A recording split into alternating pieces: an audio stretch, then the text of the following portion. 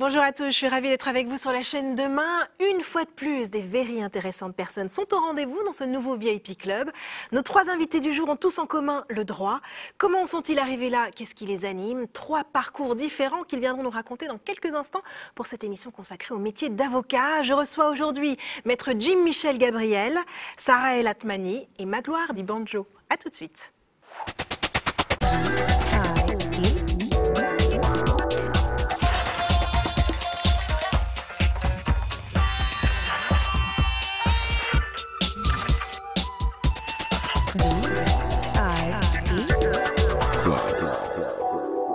Et notre premier invité aujourd'hui, c'est Maître Jim Michel Gabriel. Bonjour. Bonjour. Bienvenue. Merci. Vous êtes avocat spécialisé en.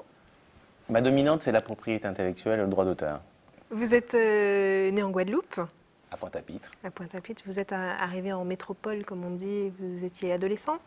Euh, oui, exactement. En cinquième une première fois, puis revenu en troisième. Euh, voilà, suite à une mutation de ma mère qui était professeure de lettres. Voilà. Vous êtes, euh, vous parlez créole, j'imagine, du coup. C'est- on dire ça. On va peut-être pas faire l'émission en créole parce que tout le monde ne comprendrait Pourquoi pas, mais faudra ajouter les sous-titres. Donc, je peux vous aider pour les faire. Voilà. Euh, vous êtes métisse. Métis, exactement. Une mère noire et un père plutôt blanc, mais qui est né aux Antilles aussi. Qui est né aux Antilles. Voilà. Béquet, donc.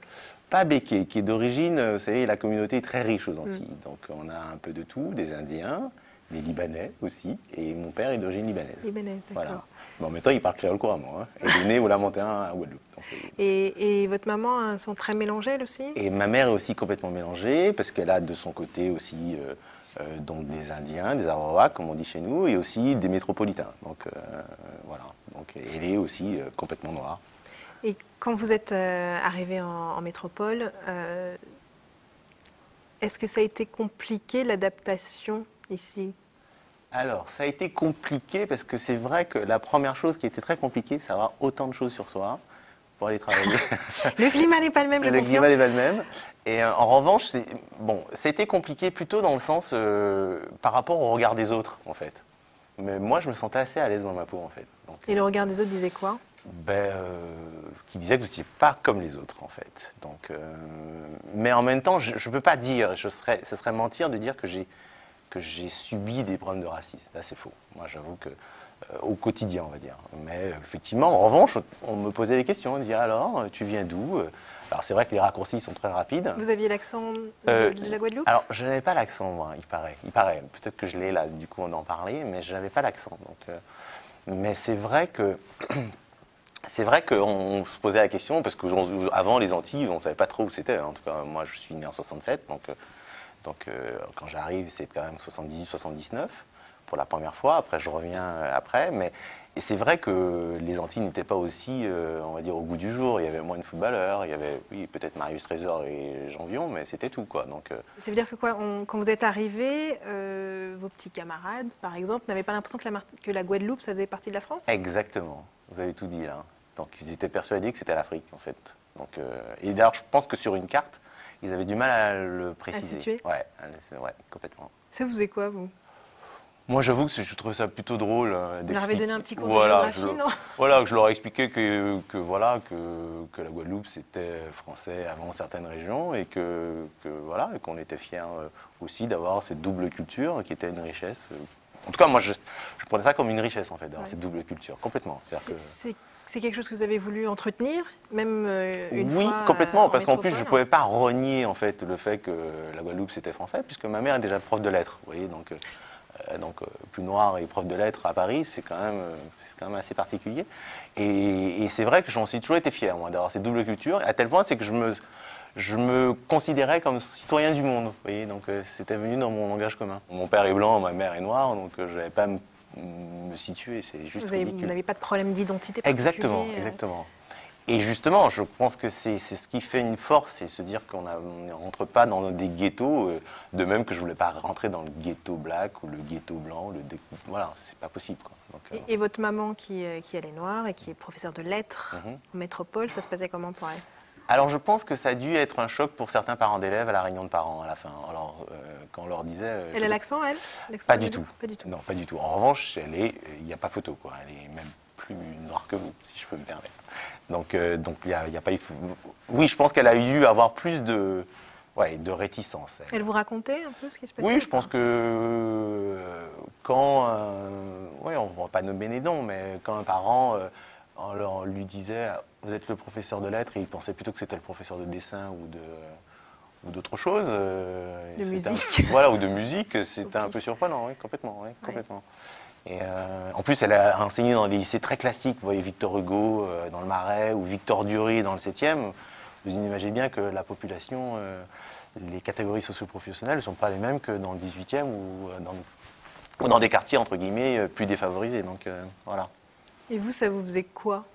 De vous dire euh, ah ben, Moi, je pense que j'en tirais une certaine fierté. Parce que, oui. voilà, oui, oui, il faut. vous vous rendiez compte que. Oui, c'est une chance. Bah, c'était quand même unique parce que moi, j'ai jamais eu de professeur noir. Hein. Euh, j'étais au lycée Montaigne. Euh, j'étais avant dans des collèges dans le 14e.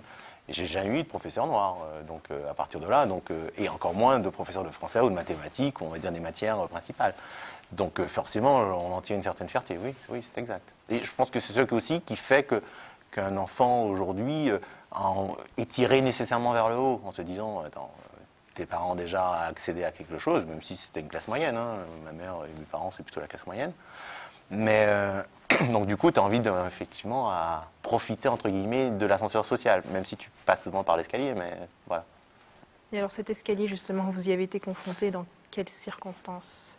Alors, je ne sais pas si j'ai des circonstances, si je peux mettre vraiment des, des moments bien précis.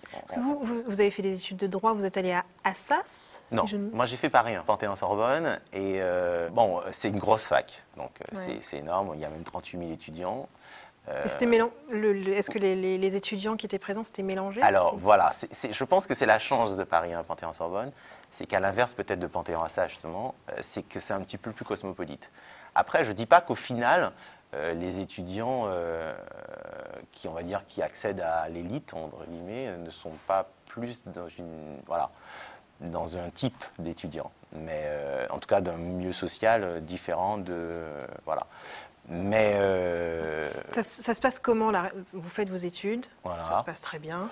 Ça se passe pas forcément très bien, tout, tout, chaque année, parce que j'avoue que moi j'ai toujours travaillé en fait. J'ai voulu être très tôt indépendant de mes parents financièrement. En plus, ma mère nous a élevés seuls, en tout cas, euh, donc, euh, parce que je suis un enfant divorcé, donc comme quoi. Et du coup, euh, je me suis très vite pris en charge, c'est-à-dire depuis quasi la première carte d'étudiant jusqu'à la dernière. Donc ça, c'est. Je ne dis pas que c'est le bon parcours, mais en tout cas, c'était mon choix. Donc, donc il y a eu des années qui ont marché, d'autres qui ont moins bien marché. moi, j'avais très vite envie de travailler, donc du coup, une fois que j'avais eu le sentiment que mes études, euh, je ne pouvais pas aller plus loin, euh, j'ai tout de suite postulé, notamment pour, des, euh, pour un emploi. Donc j'ai travaillé d'ailleurs chez Bertelsmann Music Group, donc, où j'ai été pris en tant que d'abord stagiaire. Et, ça a été facile de trouver un stage? Non, ça a été très difficile, il faut être honnête, parce que pour la simple et bonne raison, c'est que euh, un, déjà dans les maisons de disques, il n'y avait pas énormément de stages euh, déjà rémunérés, parce que moi, il me fallait un stage rémunéré de toutes les façons, puisqu'il fallait que je paye mes études, en tout cas, euh, ne serait-ce que mon logement. Et, et du coup, c'est vrai que la propriété intellectuelle, il y a beaucoup plus de filles qui le font. Donc à partir de là, alors moi je pense que j'étais un peu un extraterrestre, un en étant garçon, deux en étant métisse, parce que voilà. Donc c'est vrai que et finalement, euh, j'ai obtenu ce stage. Euh, à force de, Il a fallu relancer il a fallu... Exactement. C'est-à-dire que la première fois, je n'avais pas été pris. La deuxième fois, j'ai. On vous a dit pourquoi? Euh, Non. On m'a dit juste que je n'avais pas le bon profil. En général, on vous dit ça comme ça. Voilà. Alors, c'est vrai général, c'est-à-dire que vous vous êtes, vous, êtes posé la question est-ce que c'est parce que vous ne faisiez pas l'affaire ou est-ce que vous vous êtes dit qu'il y avait une Alors, je me suis posé la question un, est-ce que j'avais suffisamment de diplôme pour faire l'affaire? C'est vrai. C'était le cas ou pas? J'avais pas fait de spécialité en propriété intellectuelle en matière de troisième cycle. Mais en même temps, tous mes stages, notamment en cabinet d'avocat, et euh, je les avais faits d'ailleurs dans des petites structures. Euh, d'ailleurs, j'ai un confrère aujourd'hui, je ne sais pas s'il exerce encore, mais qui m'a appris beaucoup. Euh, et, et c'était vraiment, moi, mes stages ont toujours été orientés propriété intellectuelle. Donc voilà. Donc je me suis dit, c'est quand même bizarre. Et en même temps, alors est-ce que le fait d'avoir mis créole sur mon CV euh, en langue courante, euh, ça a pu me désavantager? Je ne sais pas. Mais en tout cas, En tout cas, par la suite, ils m'ont pris. ils se sont dit peut-être que finalement je faisais l'affaire, ou alors j'ai bénéficié d'un désistement. Bon, je le saurais. Non, moi je pense que voilà, c'est qu'au bout d'un moment, j'avais une vraie passion pour cette matière et j'étais tenace. Donc voilà, donc je suis resté trois mois en stage chez eux. Et après, par la suite, ils m'ont engagé en CDI. Donc, comme quoi, et je crois que je suis, en toute modestie, euh, le premier juriste en matière d'audiovisuel euh, en petit P dans les maisons de disques ou euh, voilà, à moins que j'en connais pas d'autres en tout cas. En tout cas, j'en connais pas d'autres de ma génération. Voilà. Par la suite, j'espère qu'il y en a, et je crois qu'il y en a d'autres maintenant qui sont arrivés, mais en tout cas. Vous avez l'impression d'avoir ouvert des portes quelque part? Oui, en toute modestie. Hein, je le dis vraiment parce que je, pense que il y a beaucoup d'artistes typés dans notre, mais en revanche, dans les services juridiques ou en matière même euh, dans les maisons de disques ou euh, en audiovisuel, dans les chaînes de télé, euh, j'en vois pas, moi. vous avez eu égalité de traitement dans, cette, dans cette major où vous avez travaillé? Il y avait certainement d'autres juristes, j'imagine vous avez... Alors, je suis... Moi, je pense qu'aujourd'hui, l'égalité de traitement est, est, arrivée que par la suite. Parce que, parce que je crois qu'aujourd'hui, on ne vous fait pas confiance tout de suite, hein, c'est normal. Un, normal, vous êtes stagiaire, vous passez après jury junior, euh, de quel droit on vous ferait confiance tout de suite? Et puis, par la, et puis j'étais le seul garçon au service juridique de BMG, donc euh, typé. Vous avez, vous avez l'impression d'avoir été plus euh,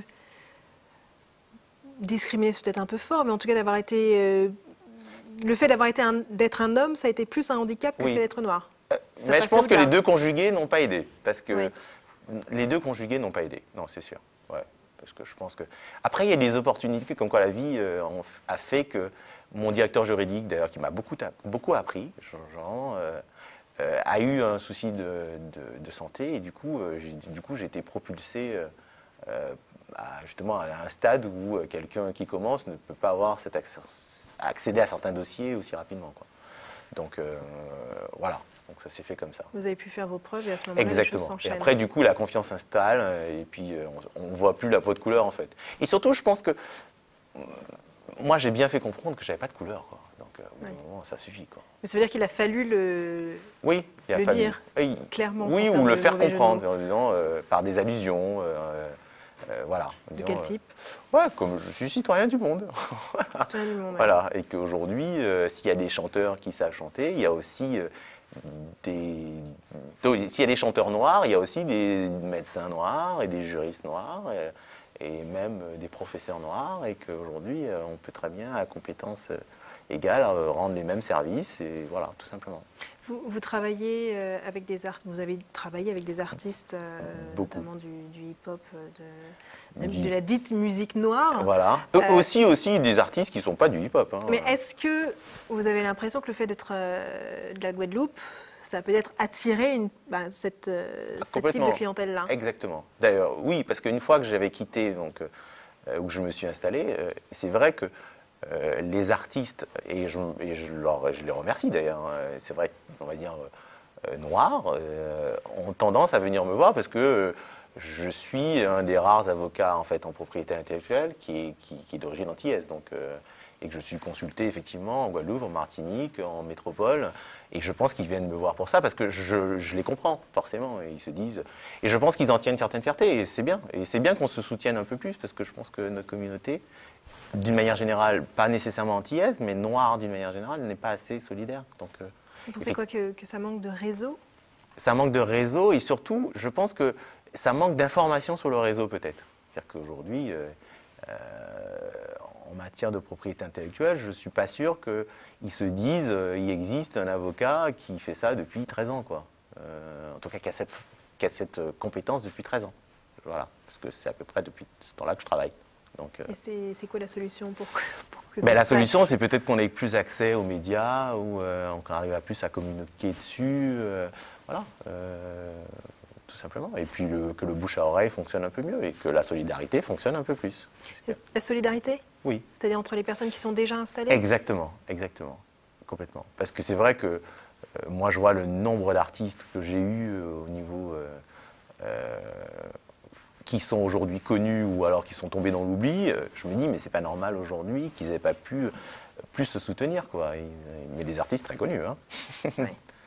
Est-ce que vous avez l'impression que vous avez quelque part une forme de responsabilité vis-à-vis de toute cette population, de la population des dom par exemple, ou d'une façon plus large de la, du métissage français? Est-ce que vous pensez que Alors, votre réussite ça peut euh, avoir euh, ben, en tout cas, je ne sais pas si je voudrais avoir justement euh, cette responsabilité parce que c'est dur à porter.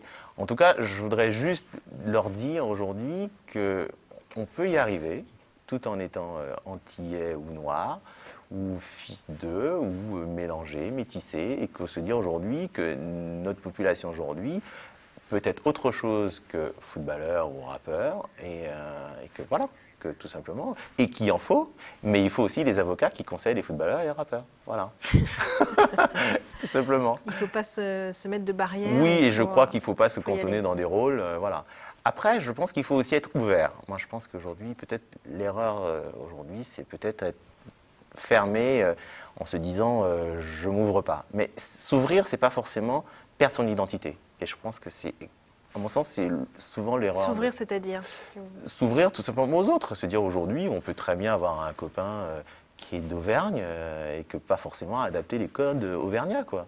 Mais, et lui faire comprendre à son copain que tu sais, la Guadeloupe, euh, c'est sympa, il y a le manioc, il y a le blanc manger coco, et que et tu vois, c'est aussi sympa que manger la saucisse d'Auvergne, tout simplement. Et à côté de ça. Euh, ça veut dire s'enrichir de, des, autres cultures sans pour autant. Voilà, et sans pour cela se dire que voilà, j'écoute que du dancehall. Euh, non, moi j'écoute du dancehall, mais j'ai plaisir aussi à conseiller euh, une artiste lyrique comme Patricia Petitbon, qui est soprane, voilà. Et voilà. Et que j'adore Admiralté, j'adore Bob Sinclair, j'adore. voilà, c'est que je suis, voilà, je suis ouvert. Pas rentrer dans, des petites cases. Ouais, on ne rentre pas dans les cases, surtout que maintenant c'est terminé, quoi. Je veux dire, on ne peut plus rentrer dans les cases. On va recevoir notre deuxième invité euh, du jour. Euh, c'est maître Sarah El Atmani qui va s'installer dans quelques instants. Sarah El Atmani nous a rejoint. Bonjour. Bonjour. Bienvenue. Merci. Détendez-vous, tout va bien se passer. Tout va bien. Je confirme. voilà, il peut, il peut vous dire on est gentil sur le plateau du VIP Club, dont vous faites partie. Il n'y a pas de raison que ça se passe mal. Euh, Sarah, vous êtes arrivée en France à l'âge de 6 ans oui, euh, je suis arrivée avec euh, ma mère et ma sœur. Euh, nous sommes venus rejoindre mon père qui était en France déjà depuis quelques années. Et vous êtes du Maroc? Je suis du Maroc, oui, je suis d'origine marocaine. Et quand, vous êtes arrivée en France, vous ne parliez pas français? Absolument pas. Je parlais ma langue maternelle qui était l'arabe dialectal. Et je suis arrivée dans une école, dans un village, comme une extraterrestre un peu. Les enfants n'avaient pas vu beaucoup d'étrangers dans cette école. Et donc, euh, quand euh, nous arrivions en classe, euh, je parlais avec ma sœur, évidemment, dans ma langue maternelle. Et les autres se moquaient un peu de nous. Les plus grands qui faisaient de l'anglais nous disaient Do you speak English? Nous, on ne parlait pas du tout, ni le français, ni, ni l'anglais. C'était difficile, ça, de ne pas pouvoir communiquer? On c'était difficile, mais on n'en avait pas vraiment conscience. Heureusement que j'avais ma sœur avec moi à ce moment-là. Qui... Et puis très vite, on est rentré dans le bain de l'école. Euh, donc ça, ça a vite, euh, on a vite appris. En six mois, j'avais rattrapé mon retard. Euh, Vous avez même sauté une classe, une classe. donc oui, effectivement, le, fait, le, retard s'est fait très rapide. j'ai été très très rapide. Puis j'ai fini première de la classe suivante. Donc ça allait. J'apprenais très très vite. Et puis j'étais curieuse de tout. Donc ça posait aucun problème. Et les, relations avec les, camarades, après, ça s'est un petit peu détendu ou pas? Euh, Dans ces vous êtes restée l'étrangère de, la classe? Dans ces petites classes-là, ça allait bien. Puis Là, on parle du primaire. Hein. J'en garde pas un souvenir euh, vraiment mauvais. C'est quand on a déménagé que j'ai senti un petit peu la différence. Dans le petit village où j'étais, tout allait très bien. J'étais chouchoutée par mon professeur qui... Ah bah, une très bonne élève, qui, qui, je pense, n'avait pas vu des gens comme ça depuis longtemps. Et puis, euh, je suis arrivée en, CM1 dans, un, dans une école plus importante, euh, en milieu d'année. C'était dans quelle ville? C'était à Montpellier. À Montpellier, donc dans une plus grande ville, oui. Dans un quartier qui s'est dégradé petit à petit. Euh, quand je suis arrivée, ça allait à peu près.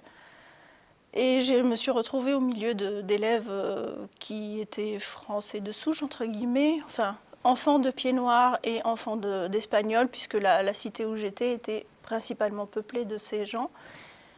Et quand je suis arrivée, euh, le professeur, le, maître qui m'a reçu, puisque c'était au CM1, a élevé la voix pensant que je ne comprenais pas ce qu'il me disait, pensant que j'étais primo-arrivante.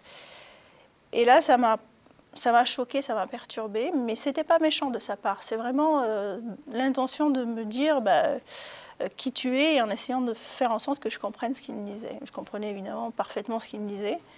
Et puis je me suis retrouvée au fond de la classe euh, toute seule puisque je venais d'arriver. Et les autres élèves riaient un peu parce que je ne leur ressemblais pas. Ils pensaient que j'étais bête.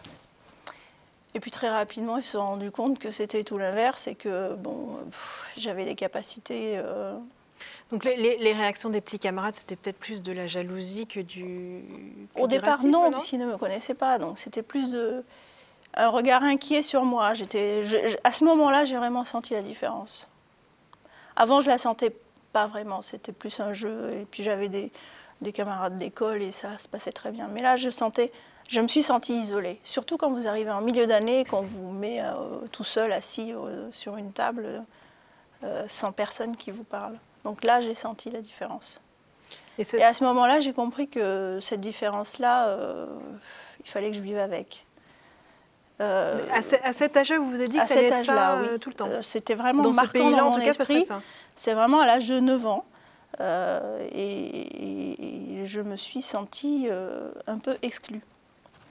Mais bon, j'ai fait avec. Hein. On continue comment à avancer. justement, comment on fait avec quand on est un enfant de 9 ans et qu'on se rend compte que bah, on n'a pas, trop le choix. On prend les événements comme ils viennent et puis euh, on continue. J'étais bonne élève, j'avais euh, j'avais rien à me reprocher, mais je m'enfermais. quand j'étais chez moi, je, je m'enfermais dans les livres, je passais mon temps à lire. Vous aviez envie de retourner au Maroc? Non. Non, parce que toute ma famille était là, j'avais plus rien là-bas. Et puis je, pour moi, changer de pays à ce moment-là, ça n'avait pas de, ça pas de sens. Un pays, c'était rien. C'était, c'était une notion que je ne maîtrisais pas. Je savais que j'étais différente, mais, mais euh, étrangère, mais je ne savais pas en quoi. C'est après, quand on avance dans l'âge, qu'on comprend que ben, qu'on n'est pas d'ici. Puis surtout quand vos parents vous disent de toute façon on va retourner chez nous. Alors chez nous. Vous avez été élevé avec cette idée-là voilà, avec euh, le mythe du retour dans l'esprit des parents évidemment jusqu'à très tard, jusqu'à l'âge de 20 ans à peu près. Vos parents parlaient français? Ils parlaient passablement bien français, oui. Comment, vous avez euh, comment vous avez fait pour vos études? Parce qu'il n'y avait pas quelqu'un qui vous aidait à faire vos devoirs, par exemple. Vous avez, tout fait toute ça, j'ai fait tout toute seule. Mes parents ne savaient pas lire, ne savaient pas écrire. Le français. Le français, ni l'arabe d'ailleurs. Ils n'ont jamais été scolarisés. Et donc je faut je une vraie volonté de, de Je remplissais tous les formulaires toute seule, je faisais tout toute seule. C'était, j'étais un petit peu leur, euh,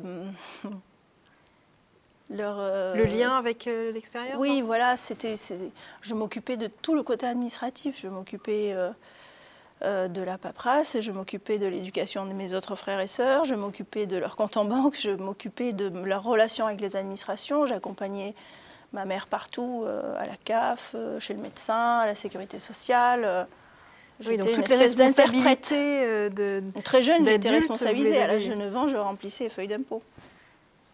Et c'est est-ce qu'on arrive à. Est-ce que vous avez réussi à rester une petite fille, quoi, malgré tout, avec, avec ces réalités-là? Non, parce que. on ne joue pas comme un enfant. Je n'étais pas au milieu des autres enfants je les regardais, ils m'ennuyaient, ils m'ennuyaient, je suis désolée de le dire comme ça, mais je préférais la, la, compagnie, des adultes. Et alors, les, enfants dont, vous parliez tout à l'heure, qui vous regardaient un peu de travers, qui faisaient des réflexions, vous disiez, euh, étaient euh, portugais, espagnols, euh, pieds noirs. Pied noir une génération de, une première génération d'immigrés, si, je peux dire. Comment vous expliquez que c'était eux qui, réagissaient bah, Eux se sentaient plus français que français. C'était, c'était. Euh, vous étiez encore émissaire en plus fait. Euh, discriminant parce que j'arrivais, pour les pieds noirs, j'arrivais du pays où ils avaient été chassés. Puisque je suis née en Algérie et puis mon père nous a demandé de, de partir au Maroc puisqu'il y a eu des soucis. Enfin, c'est l'histoire de l'Algérie qui fait que les Marocains n'étaient pas bien vus en Algérie. Donc mon père, ne voulant pas prendre la nationalité algérienne, a demandé à ma mère de, partir au Maroc. Donc déjà une première fois, on m'a déracinée en fait. Et on m'a euh, greffé de nouveau en France où bon, ça s'est bien passé pour moi pour la suite, avec des difficultés évidemment. Ça laisse des séquelles, ça, le, pour, pour, se créer son identité quand on est comme ça d'un pays à, un autre et qu'on est rejeté par les, même les petits camarades, c'est compliqué de se construire? Oui, je pense que, on, en tout cas moi, il a fallu que je me fasse une, que je me crée ma personne. J'ai appris d'où je venais plus tard, dans, quand je suis devenue adulte, parce que j'ai cherché et que j'ai essayé de comprendre, etc. Et vous aviez besoin de ça, d'avoir J'avais besoin de, de, de me retrouver, de, de trouver d'où étaient mes origines. C'est évident. Bon, elles sont du fin fond du Maroc, avec des origines qui remontent très très loin, puisque euh, je descends de, de Moulay Idriss, qui était le fondateur de la ville de Fès et qui était affilié, enfin apparenté au prophète. Donc j'ai vraiment fait des recherches pour au prophète Mohamed, qui est, euh, comme on sait, euh, celui qui a fondé la religion musulmane. Mais bon, ça je l'ai su après, ça a été Il y a eu un travail avéré, etc. on a été reconnu, etc. Mais ça a été un travail. Et vous vouliez, si je ne me trompe pas, faire des études de médecine au départ? Oui, ça c'était mon rêve d'enfant. Et alors, qu'est-ce qui s'est passé? Euh, Parce que vu le, CV, que, enfin les, études que vous avez faites, euh, et enfin d'un point de vue scolaire, tout se passait très très bien. J'ai eu un bac scientifique. Euh, donc j'ai fait, fait tout pour arriver à avoir ce bac scientifique. quand j'étais petite, je remplissais les dossiers moi-même, donc je voulais faire du latin. Ça, et mes parents me disaient, mais pourquoi tu veux faire du latin? C'est la langue de la messe, est-ce que tu veux devenir chrétienne? Et j'ai expliqué à ma mère, qui ne voulait pas en entendre parler, que ce n'était pas du tout le cas, que c'était pour aller dans des bonnes classes et pour pouvoir avoir euh, un, cursus scolaire qui me permettait d'accéder à ce que je voulais faire, qui était médecine. J'ai toujours dit à mes parents que je voulais être médecin. Bon, ils l'ont plus ou moins compris, plus ou moins accepté, contraint et forcé, puisque de toute façon les dossiers étaient remplis et qu'il fallait acheter mes livres. euh, donc je suis arrivée avec ce bac, ce bac D, bac scientifique à la fac de médecine. Et en médecine, comme je n'avais pas encore la nationalité française, j'ai été classée dans le quota étranger. Numerus clausus, comme on sait, avec très très peu de place et très très peu de place pour les étrangers. Et euh, on faisait plus de la place euh, aux étrangers qui arrivaient de l'étranger qu'aux étrangers issus de l'immigration. Donc évidemment, je me suis battue tant que j'ai pu avec une situation familiale qui était difficile à l'époque puisque ma mère était tombée malade. Bref, je ne suis pas arrivée à passer en deuxième année. Par hasard, ma sœur venait d'avoir son bac à ce moment-là, je suis allée en droit mais vraiment par hasard, parce que c'est pas du tout ma vocation par première. Hasard, et à contre-cœur aussi. À contre-cœur, beaucoup à contre-cœur, puisque j'ai fait une dépression, entre guillemets, puisque la, moitié de mon année, euh, de, ma, de, ma, première année de droit, était passée à aller pleurer devant la fac de médecine, parce que je voulais absolument devenir médecin, et que c'était pour moi une honte que d'arriver en droit. Pour vous dire à quel point les gens qui étaient en médecine méprisaient les gens qui étaient en droit. Donc, euh, je suis arrivée dans cette fac, je travaillais euh, plus ou moins, c'était ma sœur qui prenait les cours, j'apprenais avec elle, je faisais, mes TD comme il faut. Et euh, en février, elle me dit, mais il faut absolument que tu t'inscrives, inscris-toi. je dis non, je ne suis pas au niveau, j'y arriverai pas, etc. Et finalement, je me suis inscrite. En même temps, je me suis inscrite à l'école d'infirmière ah oui, vous aviez visé large quand même. Trouvé euh, par un autre biais l'opportunité de revenir à la médecine. Et j'ai réussi mon concours d'infirmière et j'ai réussi ma première année de droit. Il a fallu faire un choix. Il fallait faire un choix et le choix était cornélien. et euh, j'avais postulé pour, euh, parce qu'il fallait absolument que je devienne indépendante. Mes parents n'avaient absolument pas les moyens de me payer des études. Et donc j'ai postulé pour être euh, surveillante dans un lycée. Et mon sort dépendait de ce troisième dossier. Et finalement, j'ai obtenu un poste dans, un, dans, le plus grand lycée de France, en nombre en tout cas, à Montpellier, à l'internat. Et j'ai aussitôt démissionné de l'école d'infirmière où j'avais passé quatre jours quand même, pour me consacrer à, mes études de droit. Voilà, ça a très bien marché, enfin, plus ou moins, puisque je me retrouvais avec des enfants euh, de du milieu, on va dire. C'est-à-dire que vous, vous, retrouviez les mêmes euh, discriminations qu'enfant oui, dans votre cursus ça, a continué euh, tout le temps. Ça ne s'est jamais arrêté. Ça ne s'est jamais arrêté. Oui, donc vous c'est pas le même Il fallait toujours prouver. Non, non, c'était. c'est- C'est-à-dire quoi Il faut, Moi, il faut je, faire je- je plus. faisais semblant de ne rien voir, mais malheureusement, c'était comme ça. Il fallait toujours faire Mais plus. ça veut dire que c'était quoi? C'était les, les- les étudiants qui étaient là? C'était l'enseigne- les enseignants? C'était le- les Alors j'ai eu des profs extraordinaires et j'en ai eu d'autres beaucoup moins intelligents, je suis désolée de le dire comme ça. Euh, mes profs euh, me faisaient sentir que je n'étais pas pareil que les autres. De toute façon, j'étais la seule étrangère. C'était des classes de, niveau à l'époque, c'était juste avant la réforme, à Bi. Et euh, je me suis retrouvée dans les très bonnes classes, avec des enfants qui, n'avaient pas du tout le- les mêmes handicaps sociaux, culturels que les miens, qui étaient euh, fortunés, qui avaient euh, les parents qui les suivaient. Enfin, moi, les miens ne s'occupaient pas de moi, en fait. Je m'occupais de moi toute seule. Et je m'occupais des autres.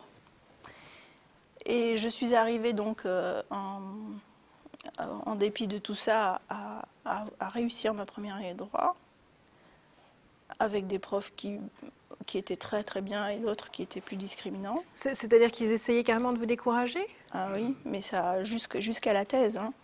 jusqu'à la thèse, j'ai eu droit. C'était. Ouvertement, c'était dit ouvertement ou on essaye de On, trouver on- des biais? on le sentait bien que de toute façon, en, en tant que fille d'ouvrier, j'allais avoir des problèmes pour euh, m'insérer euh, dans le milieu social. C'était dit jusqu'à la thèse.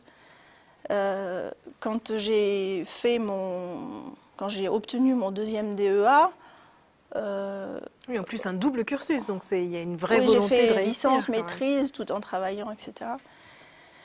Et donc j'ai fait un premier DEA, droit des créations immatérielles, donc la propriété intellectuelle.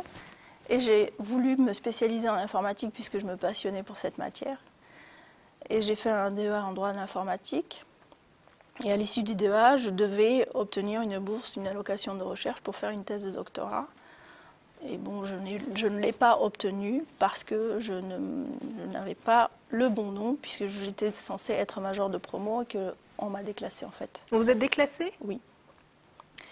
Et Et- on vous a donné quoi comme explication pour vous déclasser? Rien. On a fait passer quelqu'un d'autre qui devait avoir, euh, qui était plus français, entre guillemets, pour obtenir la bourse de... Alors là, ça mais- ça n'avait pas d'importance pour moi. J'avais les moyens financiers de continuer ma, ma thèse. Oui, mais symboliquement, c'est quand même extrêmement important. Enfin, je, Ça je m'a peu. euh, profondément choquée. Je, je comprends. Euh, surtout quand je l'ai su, qu'on est venu me le dire, c'est un, c'est un des directeurs de, de stage qui, me- qui est venu me le dire. Euh, mais euh, je me suis dit, c'est pas grave, ça m'a donné encore plus de courage. Mais en même temps, vous, vous nous dites, un directeur de, de, de stage vient vous prévenir que vous avez été déclassé, c'est-à-dire quelqu'un qui, dans la hiérarchie, est bien placé, donc il le reconnaît. Et On m'a dit que j'étais il- pas assez française. J'étais devenue française depuis l'âge de 20 ans.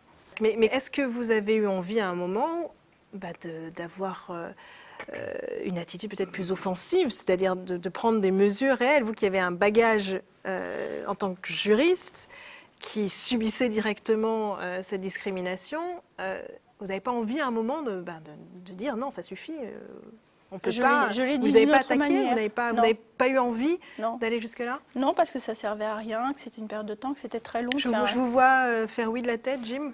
Oui, vous êtes d'accord? Vous Moi, pensez que ça ne servait à rien? Oui, Ça je- sais pas, pas l'expérience de mon confrère, mais je pense que ça servait à rien, oui, complètement. Excusez-moi, mais c'est vraiment désespérant ce que vous êtes en train de me dire parce que je me dis, j'ai en face de moi deux personnes qui ont le bagage intellectuel et juridique pour prendre ce genre de mesures et vous me dites aujourd'hui ça ne sert à rien. Ça veut dire qu'un citoyen lambda comme moi qui n'y connaît rien, Comment vous voulez le prouver? Voilà. Le problème, c'est la preuve. On est juristes avant tout. C'est improuvable. Et tout le problème de la discrimination est là-dessus. c'est extrêmement choquant. Non? Il faut vivre avec. Voilà. Mais ça me fait très peur parce que j'ai l'impression que vous êtes résigné. On n'est pas résigné vous- parce que j'ai fait tellement d'autres choses pour que ça change. Que bon, Ça a été une motivation pour vous investir Ah oui, dans moi, des... ça, c'était une, une rage intérieure. C'était vraiment quelque chose qui. Mais je vivais pas ça comme une injustice. Je, je me disais non, bah, pff, Ça veut dire quoi? Ça veut dire que vous étiez humaine. inconsciemment préparé à, à cette éventualité? Oui, je le savais. C'est terrible. Qu'on ne me donnerait jamais mon allocation de recherche, je le savais. Ce qui ne vous a pas empêché de continuer? J'ai continué, j'ai fait ma thèse de doctorat en droit européen, je l'ai soutenue, j'ai eu une très bonne mention, j'ai eu la meilleure mention qu'on puisse obtenir. Félicitations du du jury. Et puis je suis- j'en étais fatiguée de faire des études, je suis allée à la fac de, à, à l'école des avocats et je suis devenue avocat. Et, là, là, là, là, à ce moment-là, j'ai compris qu'avec le prénom que je portais à l'époque, je ne pourrais pas avancer. ça veut dire que vous avez changé votre prénom? Oui. J'étais en stage euh, dans un gros cabinet d'avocats et j'ai demandé à mon maître de stage qui s'était pris d'affection pour moi. Dieu merci, il y a des gens intelligents. Et euh, j'ai préparé la requête et il, est- il m'a emmené avec lui et on l'a plaidé ensemble pour mon changement de prénom. Et c'était quoi votre prénom Fatima. Fatima. Et c'était un symbole pour moi d'associer Sarah. Pourquoi? C'était un symbole parce que Sarah, bah, elle porte le poids de quelque chose d'extraordinaire. C'est la mère d'un autre peuple que le mien, euh, un frère. Et puis surtout, c'était euh, associer ces deux à un moment où euh, euh, je me suis sentie discriminée. J'avais envie de dire, bah, vous allez doublement me discriminer puisque je vais prendre un nom hébreu. Y avait une, démarche politique quasiment. Oui, je vous sens très très émue là. Ah oui, oui, je suis. C'était quelque chose qui n'était pas simple. Et c'est sans regret d'avoir. Absolument pas. Aucun. Et est-ce que ça a changé quelque chose d'avoir changé votre prénom? Pour moi, rien. Euh, pour euh, d'autres, peut-être, je ne sais pas. Euh, le déclic s'est fait quand un des associés de cet énorme cabinet a écorché mon prénom. Et au lieu de m'appeler Fatima, il m'a appelé Fatma. Et ça, ça a été la goutte d'eau. J'ai dit non, c'est pas possible. C'était c'était un prénom qui devenait comme une verrue sur mon, sur mon nez. C'était insupportable. Et est-ce que vous n'avez pas eu l'impression de renier une partie de votre identité en changeant? Non, parce que je l'ai fait par euh, bravade, en fait. Ouais. Bon, ça m'a valu euh, des attaques, mais bon. Et vous, vos proches, justement, est-ce qu'ils Mes parents pris très bien compris. Ils m'ont dit Ouais. que si ça me faisait plaisir, ils étaient d'accord. Donc, euh, Puis vous leur je me rebaptisais, raconté en fait. aussi. Je me réappropriais mon identité. Vous parliez d'identité tout Ouais. à l'heure. C'est une façon pour moi de, de, de m'approprier ma propre personne. Je ne sais pas si vous arrivez à comprendre ce que je dis. Est-ce que. Enfin, je- il y a des personnes qui viennent vous voir pour des, des problèmes de discrimination. Vous leur- Si quelqu'un vient vous voir, vous leur conseillez quoi? De... Sans De- preuve, c'est impossible. On ne peut rien faire. Non. On en a, hein. Bien sûr. Moi, j'avoue que je ne traite pas ce type de dossier, mais moi, je trouve que c'est juste une blague, euh, le CV sans. euh, Sans photo. Sans nom. le Sans fameux photo, CV. sans photo, euh, C'est. C'est, c'est- vous juste une blague. Oui, parce qu'une fois que la personne est devant vous, faites quoi? Voilà, exactement. Alors que moi, en toute modestie, j'ai vécu un petit peu en Angleterre et le problème ne se pose pas. Quoi. Absolument pas. C'est, euh, valable pour en l'Angleterre ou les pays anglo-saxons d'une manière Ah, je pense que dans les pays anglo-saxons, on a une autre approche, mais c'est, différent, c'est beaucoup moins hypocrite. Voilà. On- on- on- là-bas, la notion de communauté existe. Et en France, on vous dit euh, que, que la- la- le communautarisme est quelque chose. bon, Moi, je, je suis, je suis contre toute, toute cette. D'ailleurs, j'ai développé un, un concept euh, depuis ma petite enfance. Je, je revendique mon droit à l'indifférence. Surtout, ne me regardez pas. Je suis comme vous, je veux absolument qu'on me traite comme tout le monde. Et quand je dis je revendique mon droit à l'indifférence, on ne comprend pas. On me dit mais tu as une différence, tu es riche de cette différence, il faut que tu en profites, etc. Non, non. Et quand euh, euh, le président Sarkozy a commencé à parler de discrimination positive, ça rejoignait un peu ce concept. C'était très maladroit ou alors volontairement maladroit pour faire parler. Mais la discrimination positive, c'est ça.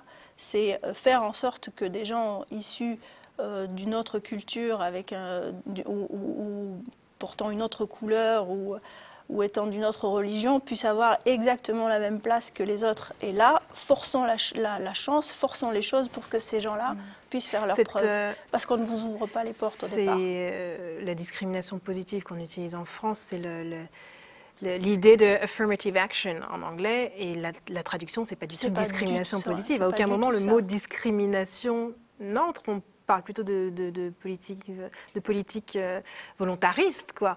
Euh, Est-ce que justement la situation euh, dans les pays anglo-saxons n'est pas différente parce qu'il y a des quotas tout simplement qui rentrent en ligne de compte? On Ce qu'on ne veut pas faire en France. On ne peut pas en France mettre des quotas en place. C'est impossible. Parce que c'est inscrit euh, dans la loi et la Constitution, je crois, qu'il n'y a, que les, les hommes naissent libres et égaux en droit. Donc vous ne pouvez pas faire de différence entre quelqu'un qui soit d'une couleur ou d'une religion, etc. La, la discrimination sur ces euh, différences-là est condamnée pénalement. Alors, comment faire? Moi, je, je- je suis toujours éberluée par ça. Euh, Quelle est la solution pour que euh, des gens comme moi, des gens comme euh, mon confrère et Comme des gens moi. comme vous, euh, Comme euh, vous. puissent, euh, puissent euh, vivre normalement avec euh, les mêmes droits, les mêmes devoirs que les autres, enfin, sans avoir à prouver Voilà, en et- permanence que vous valez quelque chose, que vous êtes... Et accéder à des postes euh, lambda. Parce Voilà, que Et accéder surtout, moi, ce- ça, ça- ça me désespère de voir qu'à l'Assemblée nationale, il n'y a personne qui soit issu de l'immigration récente. Personne. On va accueillir notre, euh, notre troisième invité. J'espère qu'il va nous apporter une toute petite touche euh, d'optimisme. On va voir Magloire Dibango, maître optimiste. Magloire Dibango qui arrive. Magloire Dibanjo nous a rejoint. J'ai bien prononcé cette fois? Tout à fait, C'est mieux évidemment quand on n'écorche pas les noms. Bien- bienvenue. je vous en prie. Est-ce que je, vous avez écouté tout à l'heure le- le- les témoignages de Sarah et Jim? Est-ce que vous vous retrouvez dans, le, dans les expériences qu'ils ont eues? Euh, je me retrouve plus ou moins dans les expériences de Jim et de, Et de Sarah. Sarah.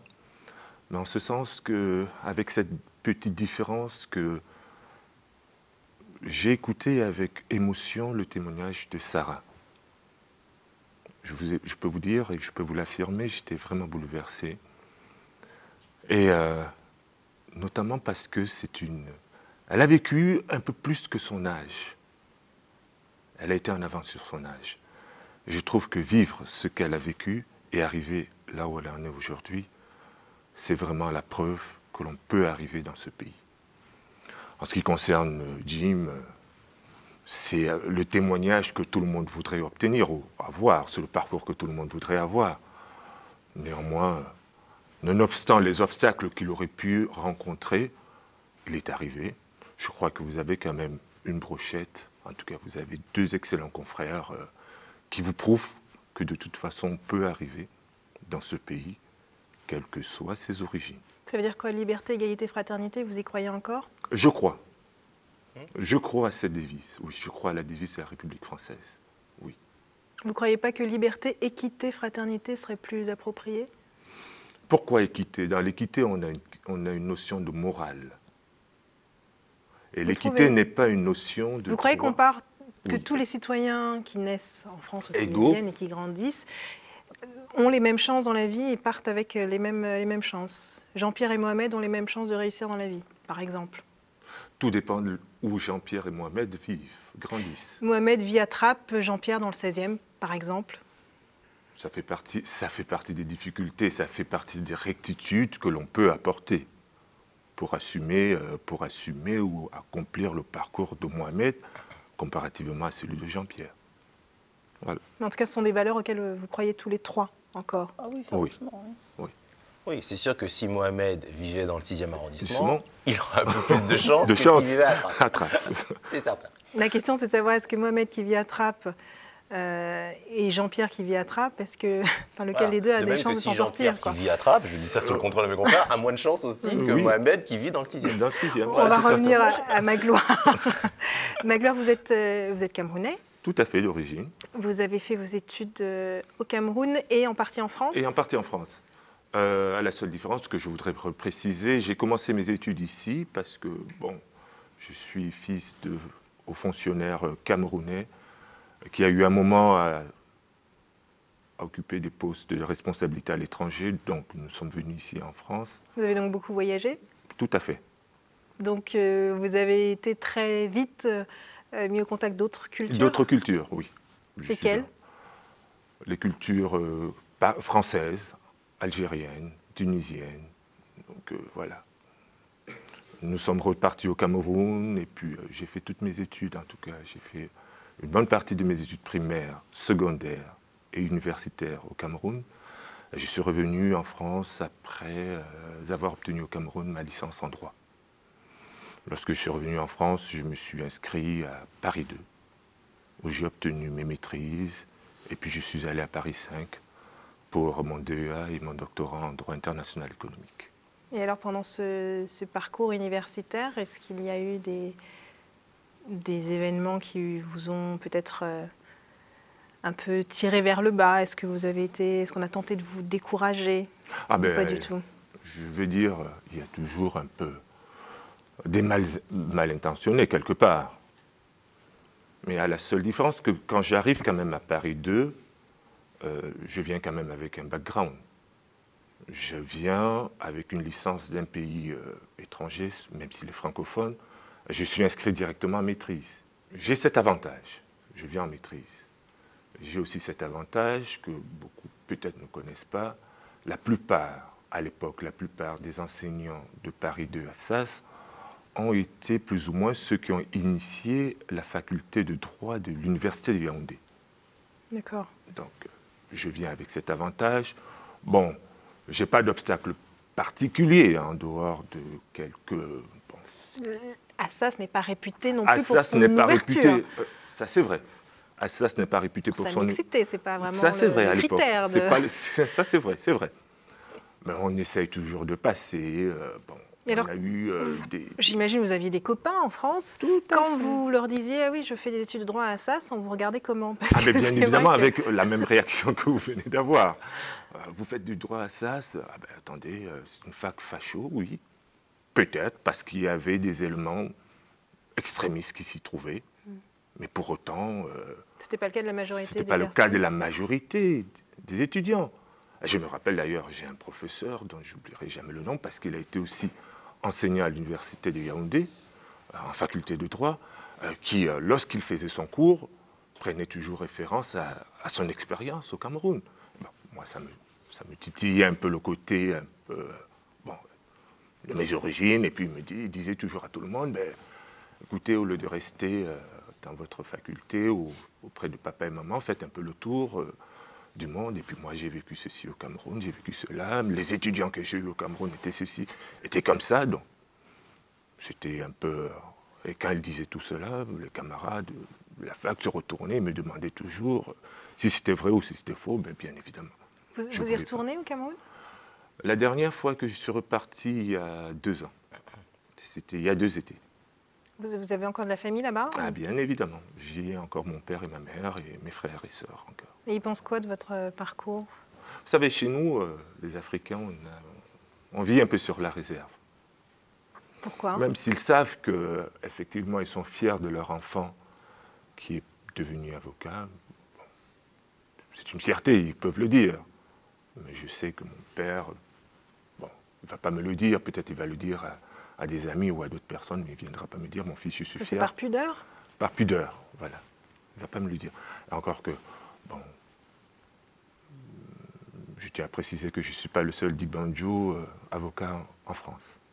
Et vous avez euh, déjà exercé là-bas, au Cameroun? Euh, non, non, non, non.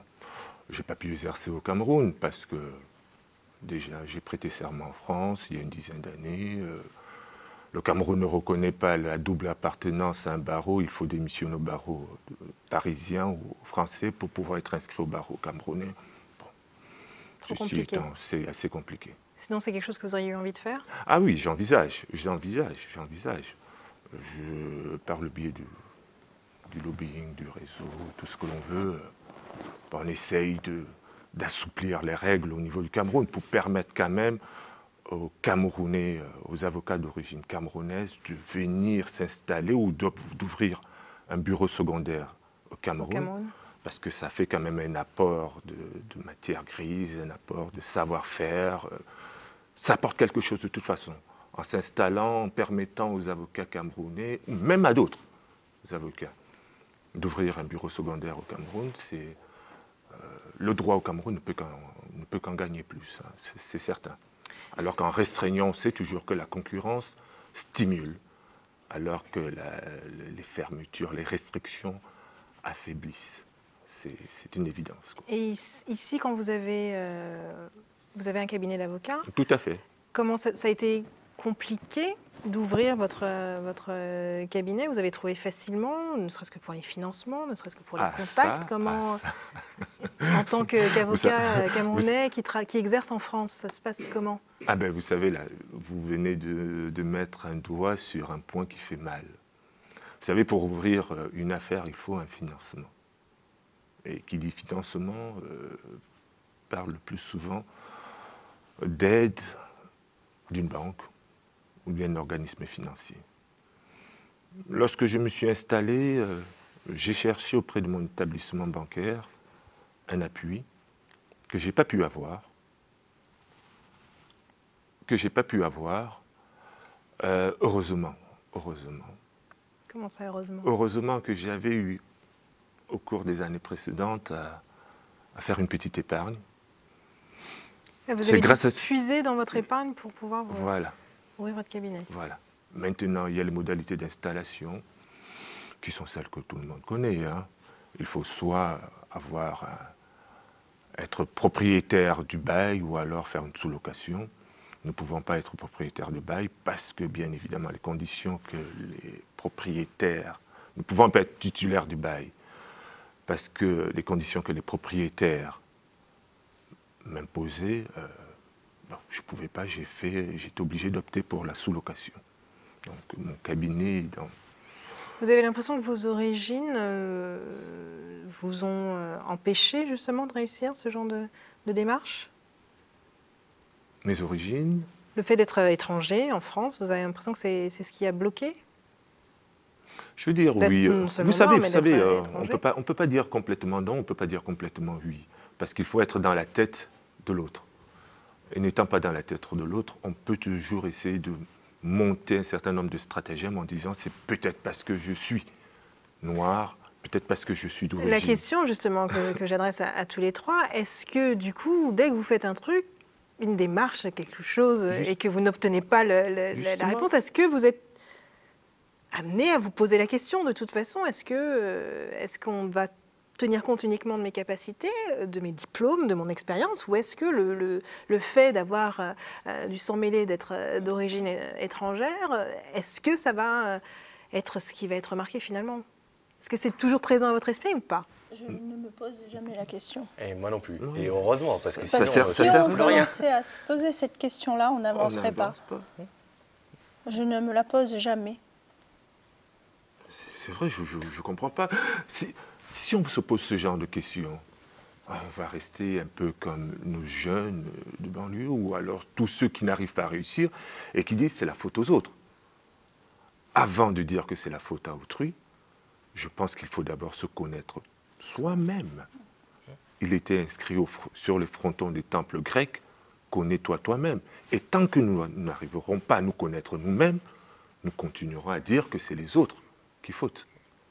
Moi, je me suis interdite de me complaindre dans une espèce de victimisation permanente. Je me suis interdite d'être une victime. Donc, euh, à partir de là, ben, Vous avez on- l'impression que c'est ça on une passe toutes les montagnes. Moi, je, victimisation. Oui, mais les gens qui n'arrivent pas à obtenir ce qu'ils veulent, ils se raccrochent à. à Est-ce qu'il n'y a pas une, il y a une, une ré- vous l'avez raison expérimenté Moi, aussi, il y a une réalité je- malgré tout. Mais cette réalité, il faut la dépasser. On n'a pas Il le faut en faire droit. un moteur en fait. Voilà. Pour moi, ça a été un moteur extraordinaire. Et si j'en suis où j'en suis, c'est parce que je, je m'en suis servi pour euh, justement avancer. Je- J'en ai retiré que les avantages, les inconvénients, Ça veut dire que les, les, les, bâtons qu'on blessures, nous les, les bâtons dans les roues, les- tout ça, c'est pour moi, ça a été une chance extraordinaire En gros, il de faut, me il faut- surpasser, de toujours ben, Voilà. devenir meilleur et de toujours être là à, à- à dire ben, je suis là et, faut pas je- accepter les barrières et qu'on vous nous met. ne me passerez pas au-dessus. Voilà. Je suis là et je m'impose. Voilà. Moi, pour ma part, je me suis plus posé la question de savoir si est-ce que j'en suis capable? Mais euh, voilà, de façon intrinsèque. C'est-à-dire que est-ce que j'en suis capable? Après, si ça plaît ou ça plaît pas, euh, c'est pas important. c'est pas. Voilà. Est-ce qu'il y a un- solidarité, si on peut parler de solidarité, entre les, les- les avocats, par exemple, de, des dom ou, de- ou des les avocats issus de l'immigration Est-ce qu'il y a une solidarité qui existe ou pas? Moi, j'ai le projet, et d'ailleurs, j'espère que mon confrère parisien, et à la limite, on peut même faire quelque chose de plus national, euh, justement, de, de créer quelque chose de beaucoup plus ouvert. C'est-à-dire une association. euh, au début, moi, je voulais l'appeler les avocats. euh, euh, insulaire, parce que je suis d'une île. Après, je me suis dit non, c'est trop réducteur, il faut peut-être ouvrir ça. Euh, D'ailleurs, ce que je, je vous remercie de m'avoir permis de rencontrer Jim, avocat au barreau de Paris, euh, que je ne connaissais pas. Mais je- pour sa gouverne, je lui indique que, que nous avons au barreau de Paris déjà une association génial. qui regroupe tous les avocats originaires de l'Afrique géographique, des Caraïbes et du Pacifique. Elle s'appelle comment cette Cette, association première- cette avo- cette association s'appelait à l'époque AACM pour Avocats Afrique, Caraïbes, Maghreb, qui est devenue entre-temps CAPA, Caraïbes, Afrique, Pacifique, Paris, Avocats. Vous faisiez partie de la création de cette association? Tout à fait. On l'avait créé parce qu'on ressentait un véritable besoin. Ouais. Parce que vous ne savez pas, au barreau de Paris, on revient de loin. On revient de loin. C'est. euh, il y a encore dix ans, être dans un cabinet d'avocats avec nos couleurs, c'était. euh, Pas simple. Est-ce qu'il y a des, des actions mesurables, si je peux dire, de, de cette euh, association? D'abord, il faut que, il faut que l'on garde dans l'esprit que c'est une association professionnelle. C'est-à-dire qu'elle est d'abord dirigée vers des professionnels que nous sommes et à l'égard de notre ordre. Donc la première action concrète que nous avons pu faire et poser il y a quelques années, c'était de nous rendre visibles. Nous avons pu nous rendre visibles et En même temps, c'est très compliqué. Comment est-ce qu'on peut imposer, puisqu'il n'y a pas de quota en France, comment est-ce qu'on peut imposer à un client d'aller voir Non, avocat non, ce n'est c'est pas ça. C'est pas ça. Nous ne sommes pas là pour imposer à un client d'aller voir Alors un comment autre vous avez fait pour avoir cette visibilité? Cette visibilité Ben, Au niveau du barreau, nous avons pu permettre à une de nos consoeurs, originaire des Caraïbes et d'Afrique, d'être membre du Conseil de l'Ordre. Notre confrère Aïcha Condé. Aïcha Condé. Et vous allez dans toute l'histoire du barreau de, Paris, vous verrez que c'est la première à avoir été élue. Et c'est grâce à notre action de Et vous lobbying. pensez que ça change quelque chose? Ah mais bien évidemment, ça change quelque chose. Ça rend C'est beaucoup quoi? C'est la reconnaissance La, des, la reconnaissance, des pairs, si je peux dire? Non seulement la reconnaissance des pairs, mais ça met un conseil de l'ordre à la même dimension que son barreau. Le barreau, du- le barreau de Paris est, est un barreau pluriel, multiculturel. Vous pensez Or- que, que ce qui bloque, c'est le barreau et pas les clients potentiels? En dehors de ça, il y a une double détente. Oui, Il y a une double détente. Vous avez la détente du barreau et vous avez la détente du client.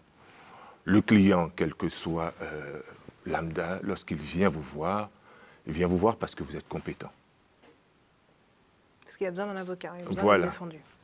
Il a, il a besoin d'un avocat, il vient Donc vous vous pensez voir que le blocage vous- ne vient pas de là Vous allez avoir des clients qui Vous vont avez- réfléchir comme, comme ça. ça. Voilà. Mais ensuite, votre réputation fait que ben, les gens vont s'orienter vers vous, quel que soit euh, votre nom, votre origine, etc. Vous êtes avocat avant tout. Comme je dis, moi j'en reviens toujours à la médecine, je suis un avocat, je suis comme les médecins, je soigne tout le monde.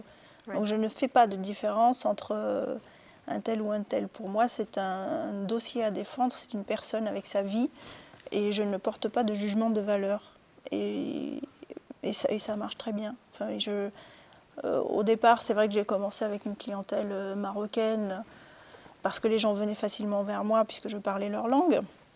Mais au fur et à mesure, elle, est devenue Élargie. cosmopolite, donc c'est pas.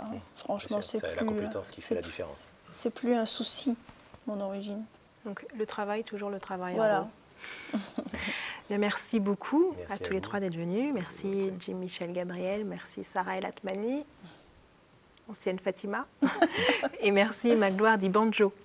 Merci. Je vous donne rendez-vous très bientôt sur la chaîne Demain. Si vous voulez revoir l'émission, n'hésitez pas à vous aller sur le www.demain.fr pour avoir les horaires. Et je vous dis à très bientôt pour un prochain VIP. Ciao Blue